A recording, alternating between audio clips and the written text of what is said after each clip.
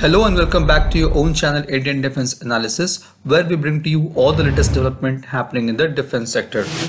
The HAL's basic trainer HTT-40 was first unveiled by PM Narendra Modi during Defense Expo on 19th October 2022.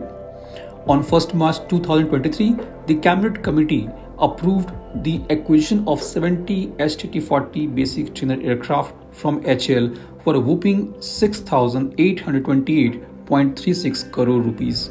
The aircraft will be supplied to Indian Air Force over a period of 6 years which will involve MSMEs from private sector and HAL will be the lead integrator.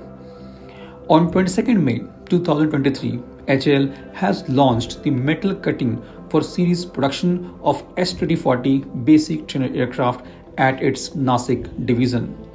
As per HAL, the delivery of these aircrafts will commence from September 2025 onwards. To begin with, HAL will be delivering 12 aircrafts in first year and increase production to 16 aircrafts next year and try to take the peak production rate to 20 aircrafts per year. HAL is also looking to expedite the production of aircraft in anticipation of additional 36 aircraft orders from Indian Air Force and potential for export. The aircraft is testimony of HAL's cutting-edge technology designed to meet the primary training requirements of Indian Defence Services. It is built around a meticulously tested turboprop engine and the aircraft is equipped with latest avionics.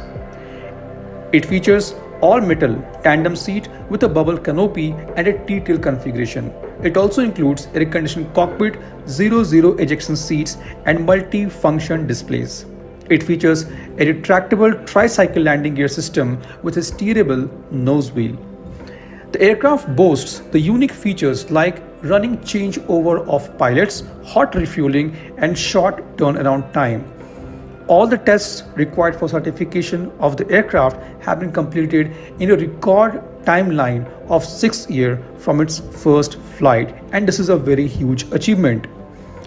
HTT-40 has been designed to meet the PSQR issued by Indian Air Force and FR23 standards. It has met all the PSQR performance parameters with a gross weight of 3050 kgs. The aircraft has completed all the system tests, all PSQR performance tests, hot weather, sea level and crosswind trials and user assisted technical trials. It has also demonstrated rainwater resistance.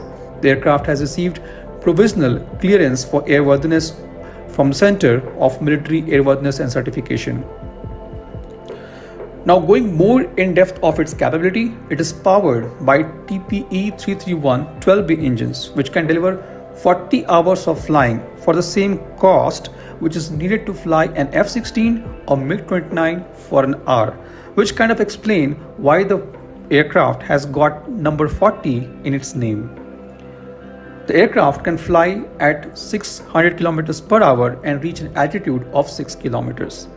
It has capability to be converted into armed and weaponized version at later stage. With a maximum takeoff weight of 2800 kilograms, the trainer can be configured to carry a gun, rocket and bomb to perform the light combat or counter-insurgency missions. HAL has also successfully integrated the lithium battery on HTT-40 and making it the first in the continent using lithium battery for military aviation. This was today's update. Please let us know your views on this in comment section. If you like the video, do not forget to like, share and subscribe. With this, I would like to say goodbye and Jai Hind. We'll soon back with more interesting and amazing development happening in the defense sector.